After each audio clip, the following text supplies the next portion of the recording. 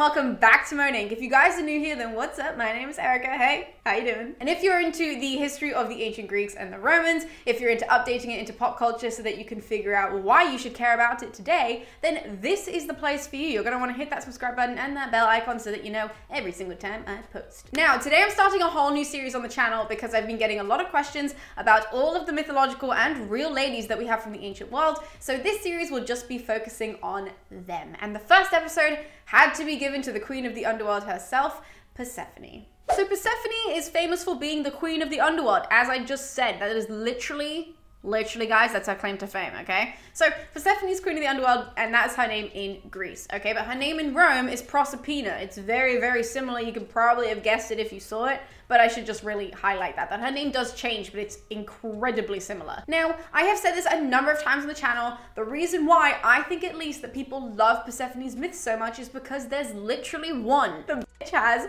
one myth, and if you know the one myth, you basically know everything about Persephone. In saying that, she does pop up in mythology mythology in a bunch of places, but she pops up in other people's myths with Hades. Okay, so whenever somebody has to go into the underworld, they will oftentimes go to the palace of Hades and Persephone and like have a little chit chat, have some tea, you know, hang out. That's when we see them. But this is really her myth, and her myth is the original like trauma story. Okay, like this myth is dark. Okay, I don't want anyone coming into this episode thinking like Persephone's the goddess of spring and mm. her myth centers around the abduction and oh, I was gonna say a word that I can't say on YouTube. Shall we say sexual trauma? That's a good one. Go me. The sexual trauma that is caused by the king of the underworld himself. So Hades is the one who abducts her and inflicts said sexual trauma uh, on her.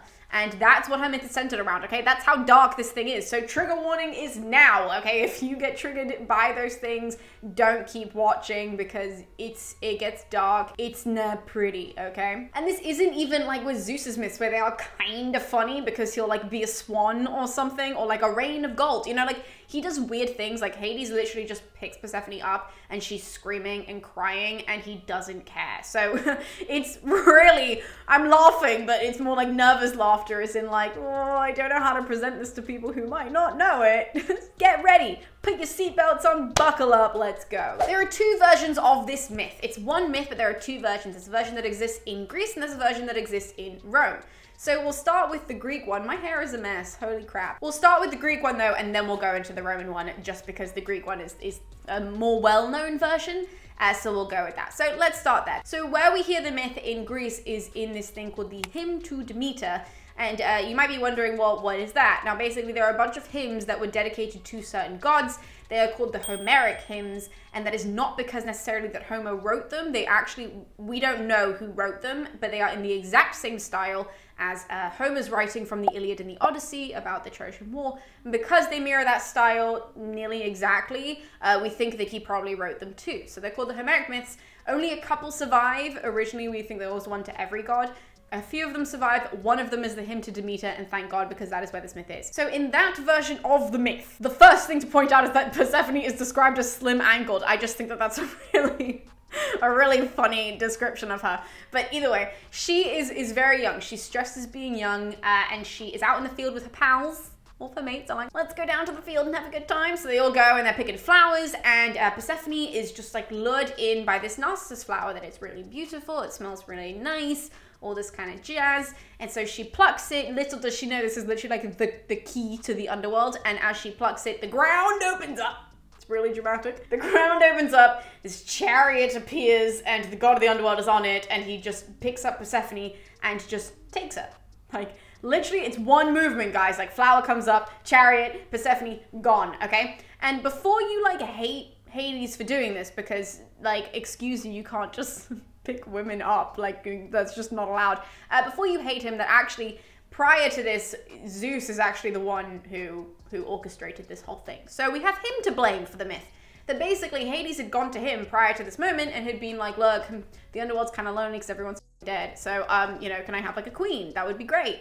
And Zeus is like, oh my god, funny you should say that. I have a daughter who's like totally just chilling out and is like super young and is not claimed by anybody, so now she's yours. But the thing is, is that Zeus tells Hades, like, you can't tell Demeter, who's the woman that he had the child with and also his sister subsequently. Um, but he's like, you can't tell Demeter because she's gonna freak the out. So we really have to just keep this between the two of us.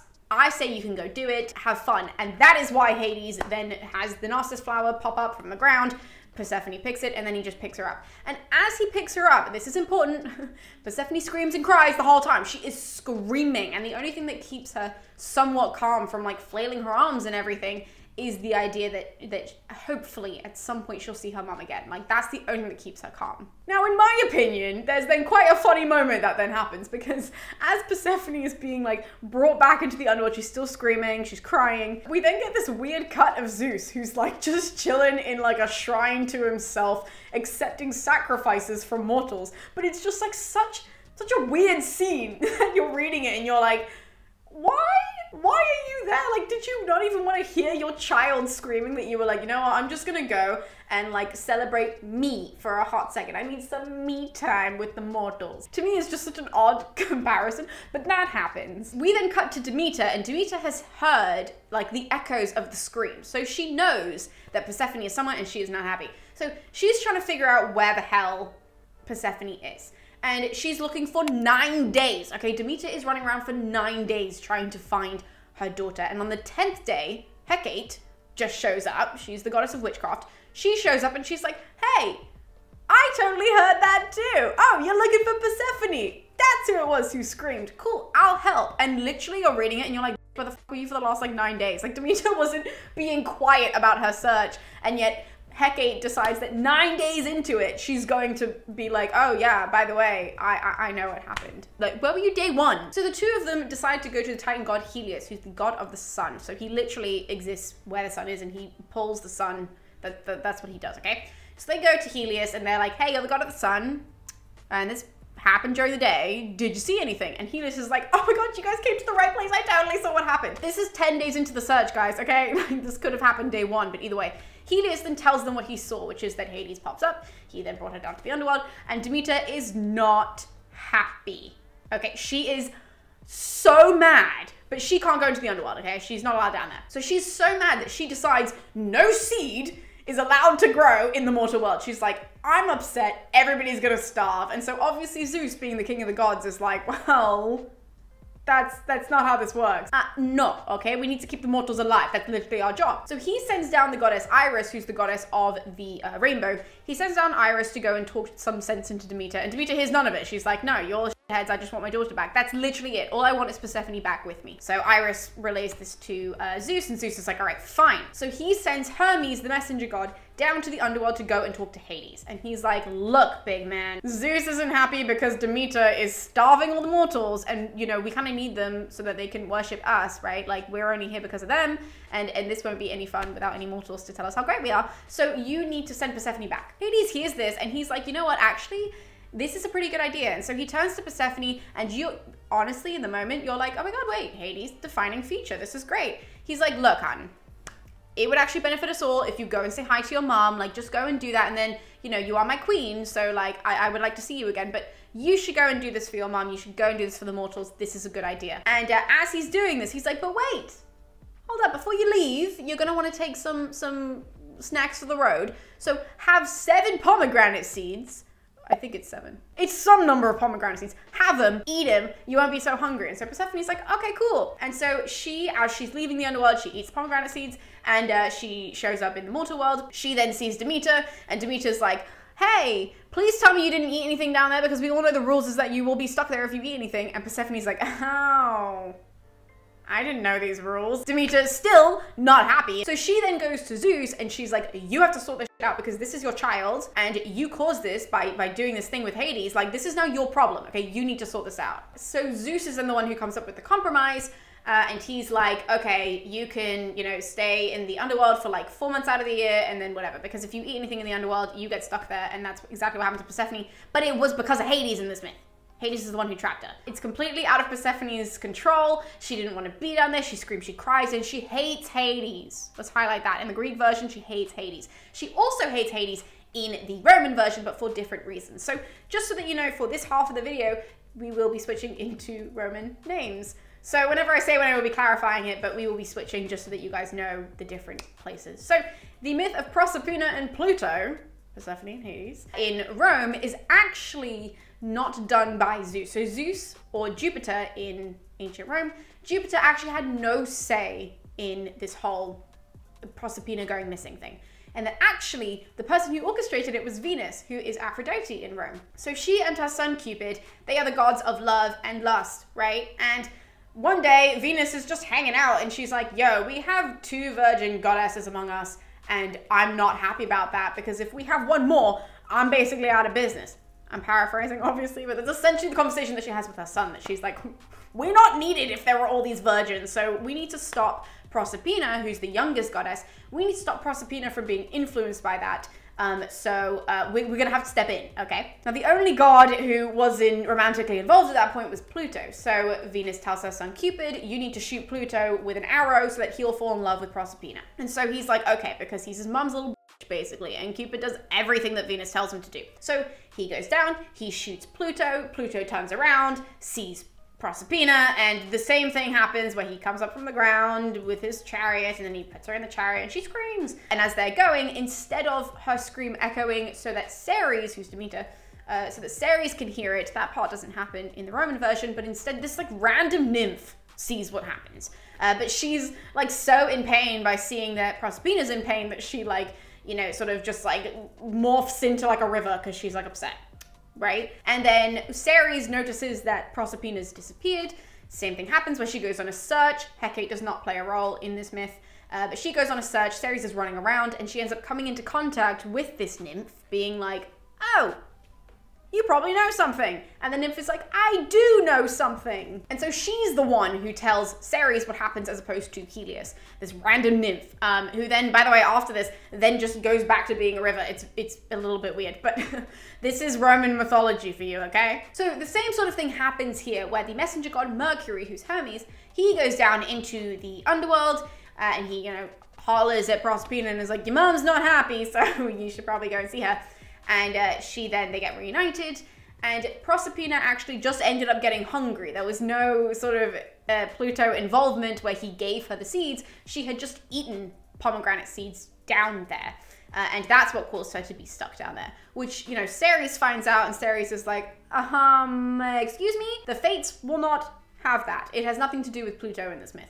So they go to Jupiter, the king, Zeus, they go to Jupiter and they're like, you need to sort this out. And he's like, what am I supposed to do with the fact that she ate food down there? Like, I, I have no power over that. I can't do anything. And so he ends up coming up with the compromise with the fates, not with Pluto. Uh, it, it's actually done with the fates because even Pluto is subject to the fates. And so they then end up coming up with the compromise. Um, that Proserpina can spend X amount of time in the upper world and X amount of time in the underworld, which is usually just so you guys know, it changes. That period of time changes. And sometimes it's half the year, and sometimes it's a third of the year that she spends in the underworld. Um, and sometimes it's a third, two thirds of the year that she spends in the upper world. It really depends on the, the, the myth that you read. It depends on the version that you read. Um, that changes across all history. But that's Persephone's myth. It's really dark. It's the one myth, okay? We're not gonna sit here and go through like a timeline of when Persephone or Proserpina pops up because then after that it's just whenever people came down to the underworld, they went to go and say hi to her. And so you have like, oh, you know, then they sat in front of Proserpina's throne or Persephone's throne. And you're like, oh, there she is. But aside from that, she hates hates the underworld, hates it. Anytime we see her, she is either like crying. She's a good queen. She's a very good queen, and authors give her, you know, that credit as well. She's a very good queen of the underworld. She does her job really well, but she does not like her husband. And everybody likes to say, oh, you know, like Hades didn't cheat on her and all that kind of jazz.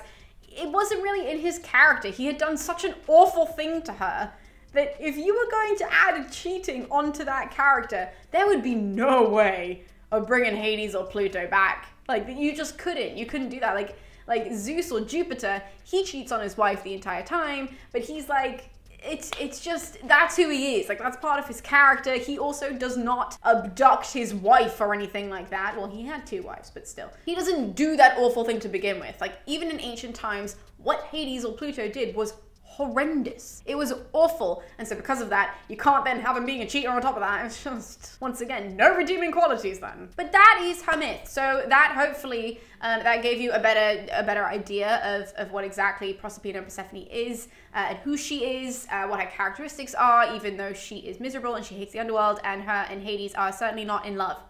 That is a nice a nice modern retelling of this myth because it is just so goddamn awful. So thank you guys for tuning in there. If you guys want to know these sources that I use for this episode, we do post them online uh, on my website, so you guys can go check that out in the description below. I also have links to the books in the description below as well as on the website where I just basically write up these episodes like an essay so you guys can read it. Don't plagiarize it because I saw someone do that the other day on an Instagram post and I was like, I wrote that. Either way, so thank you guys for tuning into this episode. If you guys enjoyed it, then please, please hit that like button so that I know. And don't forget that next week we'll be continuing our whole series on incredible women in the ancient world uh, which do include both mythological women and real women in real time. So thank you guys so much, and we'll be seeing you next time.